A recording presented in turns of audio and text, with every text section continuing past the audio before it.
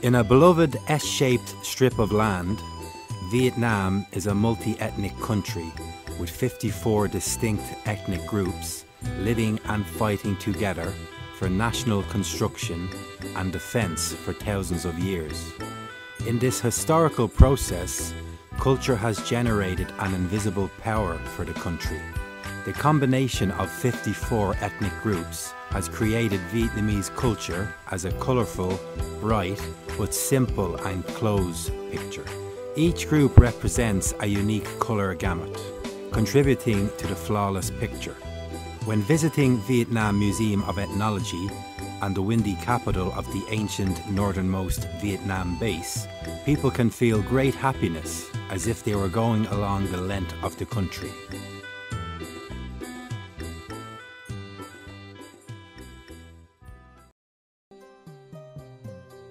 The mountainous cultural area in northern Vietnam includes some provinces Ha Giang, Lao Cai, Lai Châu, Son La, Dien Bien, Cao Bang, etc.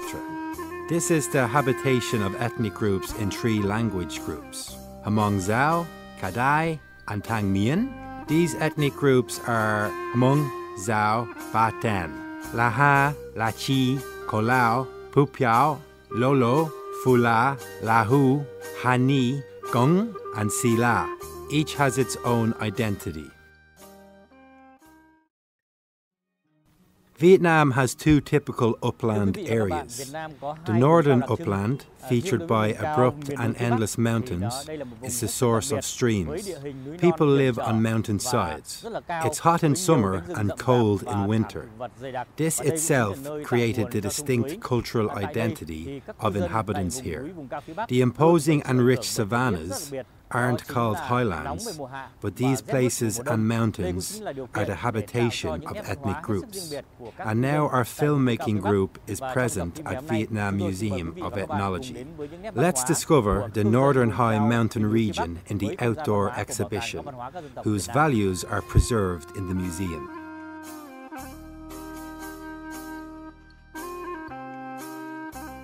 In the outdoor exhibition area of Vietnam Museum of Ethnology, the northern high mountainous region are vividly reflected in an area of 4,000 square meters.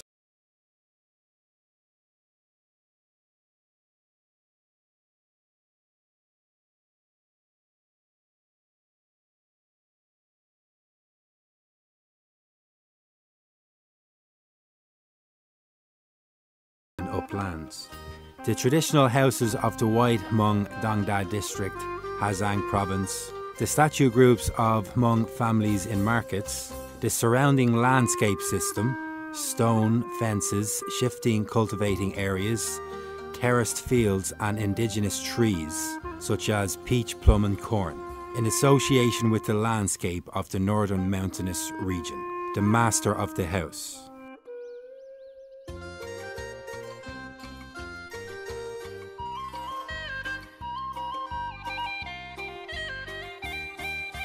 Due to the control of topography, the main economic model of mountain residence is cultivation on milpas. Farming in small landholds and on terraced fields is carried out on complicated terrain.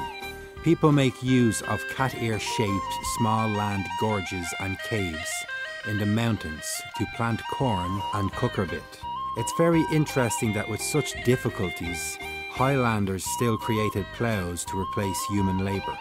They are short, big, and sharp with pointed ploughshares. They are cast suitably to the soil and are able to plunge deeply into the soil, flip off tree roots, and be intact when smashing into rocks.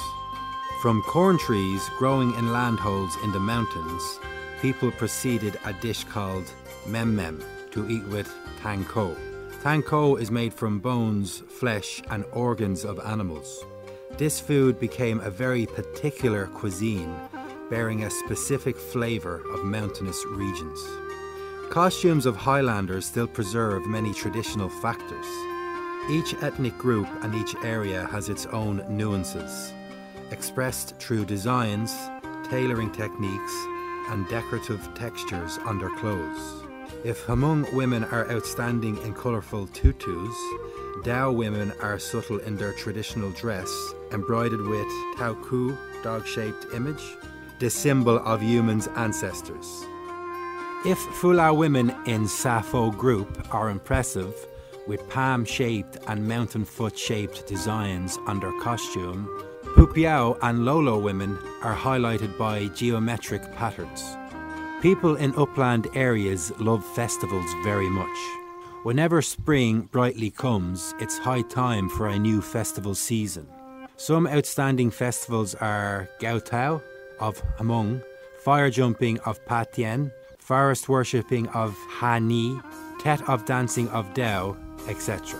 True festivals, all people are immersed with the earth to pray for peace, health, good weather, and bumper crops. Visiting the cultural space of upland markets, we can feel a very unique culture associated with villages. Many roads fall across the mountain sides, and the busy sounds of panpipes and flutes can be found nowhere else. Markets are the places for cultural and spiritual activities for youth to meet and share their feelings, and for people to make friends and love.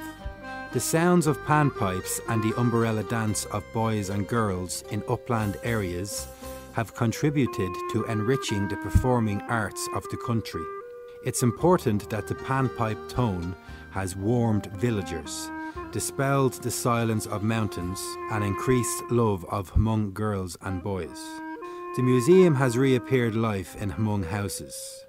Every year on Tet, many Hmong girls and boys participate in markets, cook tang ko, corn liquor, and men men, and play the flute and dance with panpipes. Ethnic groups in the North Mountainous areas mainly live on cultivation. Their main food crops are rice and corn. It can be said that cultivation on milpas plays a very important role in the lives of people in uplands. It is associated with landscape and environment of the tribes. People use fields that have been burned, hoed up, or ploughed to cultivate. Among Lolo, Pupiao, Kolao, and Red Dao people, farming in narrow fields with high slope utilize the land position and shifting cultivation to grow corn and potato. People here also grow long-time industrial crops such as tea, cinnamon, and specialty crops including cardamom, acanthopanax, kohlrabi, cabbage, fruit trees, and other farm crops. Cultivation in small landholds of mountains is the typical cultivation form of people in uplands. In milpas, people practice slashing, burning, hoeing, ploughing, and sowing. Corn is the main crop in Hmong fields. In rice harvests, People use cutter to cut each rice ear, bind them in sheaves, then dry them right on the field before bringing them home. Corn is grown in March, April, and harvested in July every year. In addition to shifting cultivation, people also take advantages of sloping terrain and improve land to both cultivate water rice and maintain soil nutrients. Because of the quite disadvantaged terrain, difficult transport that many villages are constructed on high mountainsides, village fairs in uplands are held every five to seven days. These days, on trails crossing the mountainsides, each group of people come in flocks to the fairs. Some people wear papooses on their backs. Some people lead their horse carrying goods. It's very special that the goods brought into the markets are very simple and essential. They are agricultural and forestry products, food, livestock and poultry, etc. But the most important is the honesty in trading exchanges. Fruits are held in baskets sophisticatedly knitted by bamboo are packed in phrynium and palm leaves. Bamboo shoots, cat's ears, mushrooms, peppers, garlics, and gingers are threaded. The honesty is also expressed in fixing prices of goods sometimes inflexibly fair. For instance, every bundle of vegetables, string of fruit basket, even a chicken or duck, no matter how it's big or small, or a kilogram of fat or lean meat, is sold in the same price. They never lower their prices, although they can't sell their products that day. When the market is closed, they can bring their unsold goods home and sell them in the coming markets. All are very simple and close, showing the typical flavour of mountains and forests. People come to the markets not for commercial purposes of buying or selling something, but for meeting and talking with other people. The sound of talking and laughing make everything boisterous, breaking the inherent silence of mountains and forests. Just a tang ko pot or steamed fishes baked greasily in yellow can make people legless. They play lei ko game so passionately that mountains and forests are also deemed to move. The sound of panpipes and flutes seem to earnestly call friends and cover all high mountains and thick forests. Visiting the village fairs in uplands, people can come across their original beauty that never appear in other places. There are images of Hmong girls in brocade dresses holding their umbrellas in hands. There are also images of boys delivering goods by their horses. The horse neighs make forest corners bustling and lively.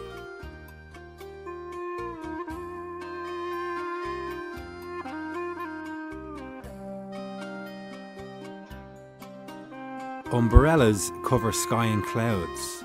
Horses neigh as if it's time to fight. There are always grounds for tying horses before people enter upland markets. Some grounds are very crowded with hundreds of horses under the halo of palm forest. Because horse is the most important means for ethnic groups, it is close to Highlanders whenever they are happy or sad or facing difficulties. However, the most impressive colour here is of gaudy, multicoloured dresses of Hmong, Dao, Lolo, Paten, and Pupiao people. Hmong men and women play the panpipes and dance with umbrellas in a romantic and touching manner.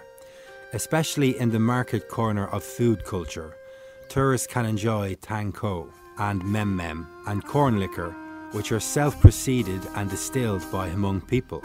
At this market, we can communicate with friends from the plains or other mountain villages through offering each other a cup of wine or a bowl of tang ko with a fragrant scent of cardamom. The honest and sincere communication of mountainous people in village fairs has opened people's hearts. Friendship is multiplied by many fold. People can make more friends. Regarding Hmong couples after their hard working days on the fields, the market days are opportunities for a wife to encourage her husband by fully feeding him with tang ko and letting him entirely get drunk on wine with his friends. The wife is seemingly happier when her husband is completely drunk. Perhaps she has a particular explanation. Her husband gets drunk, he intimately exchange with his friends, and every husband needs this sincere and enthusiastic virtue. Getting drunk, he can lay beside stump or roadside, but his wife still patiently holds an umbrella and waits for her husband to sober up. At that time, she takes out her linen ball to connect fibres, which seems to strengthen the love and maintain the traditional handicraft. When her husband sobers up, she lets him go back to the horse and lead the horse back to the mountains. After the village fair, married love is multiplied. The Hmong man seems to be healthier to produce more rice and corn to feed his whole family, and this couple can go to next markets together. Perhaps this is a unique tradition of Hmong people. It can be said that markets of the northern mountainous ethnic groups is where the lives of people in Vietnam's upland areas are reflected. The outstanding feature is the material and spiritual cultural space, where traditional culture and human behaviours of people in upland areas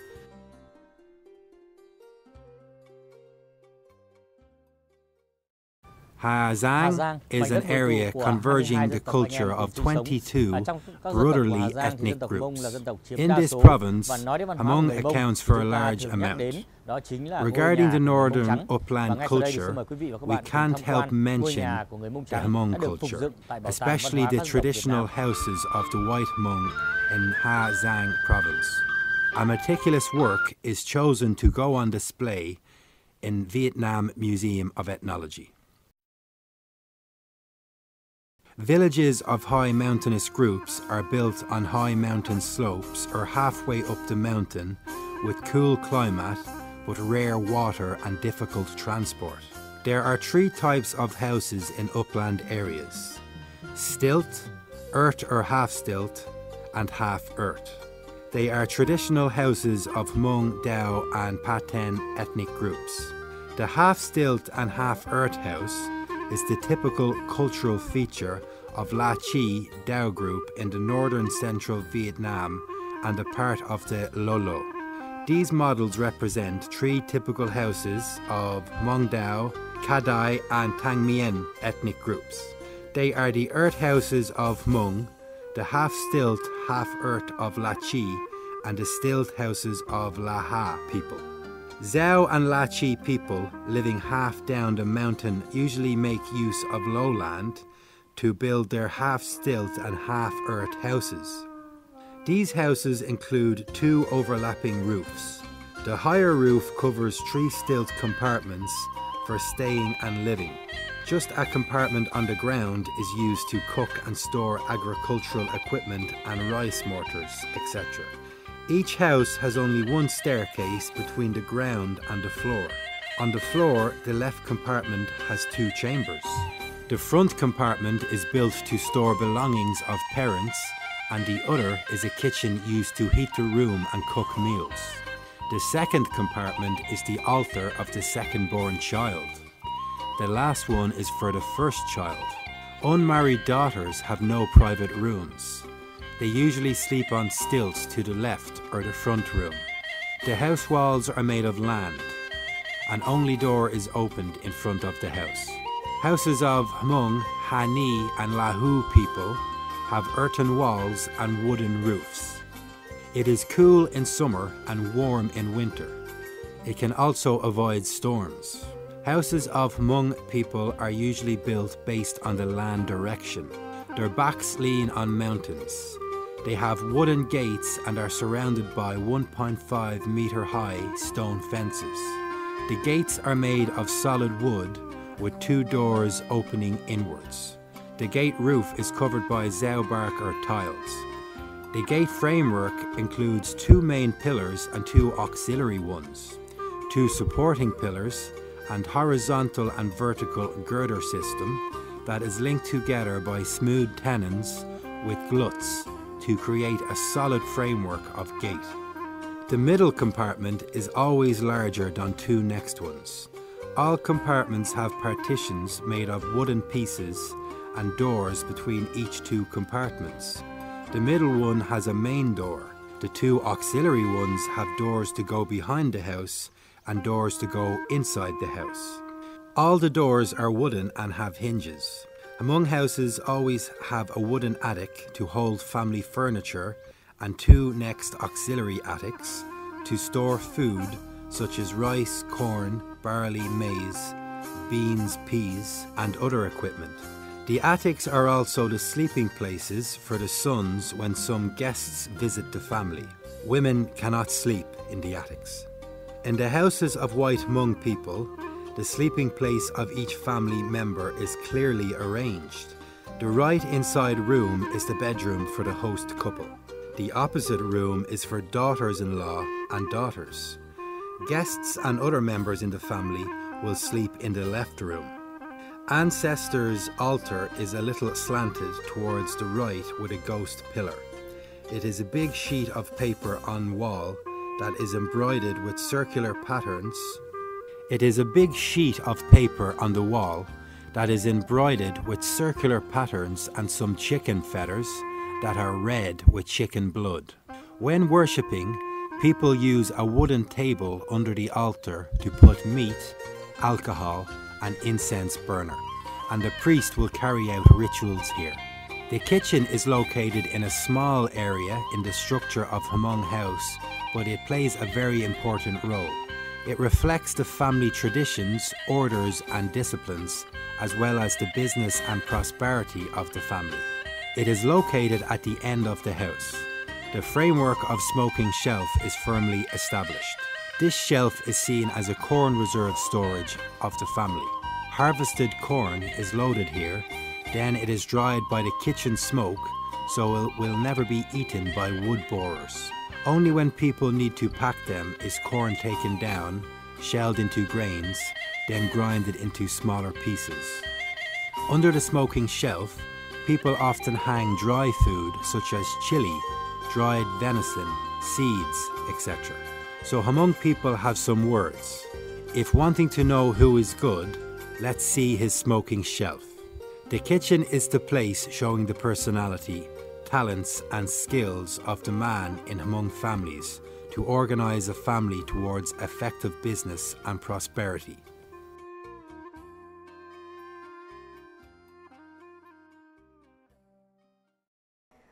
The Hmong in Vietnam are divided in four main groups white, green, flower, and black.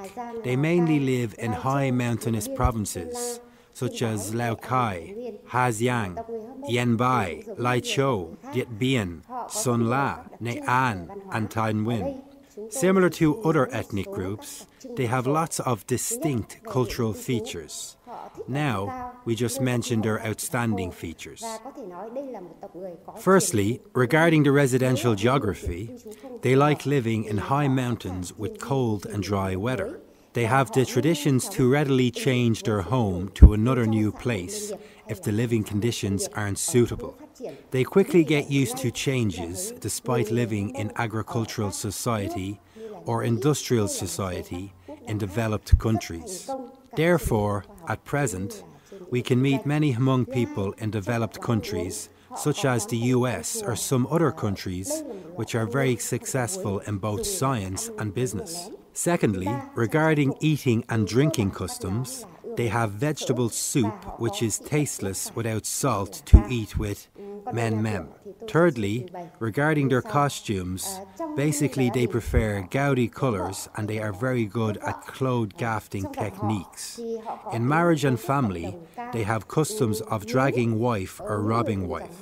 The coherence in their community is high. For people in the same line or sharing the common origins with Hmong people, they will help them with all their hearts in any circumstances. Regarding music, their unique instruments are panpipe and flute. In terms of sports, they like horseback riding, horse racing, and shooting. Regarding the architecture of Hmong houses, irrespective of many different localities and ecological areas, their houses have some following unique features. Firstly, they are earthen houses. All activities are carried out on the ground, not on the floors as in stilt houses.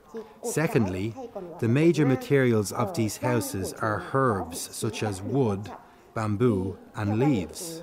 Thirdly, in the house architecture, the main pillar or ghost pillar in the compartment of hosts plays a particularly important role because this is the inhabitation of the host's souls according to the conception of Hmong people.